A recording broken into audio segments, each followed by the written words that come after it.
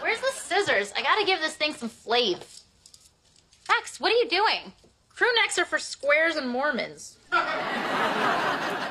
Oh, cute. Should we do mine? I don't know. If you have no car, why open the garage?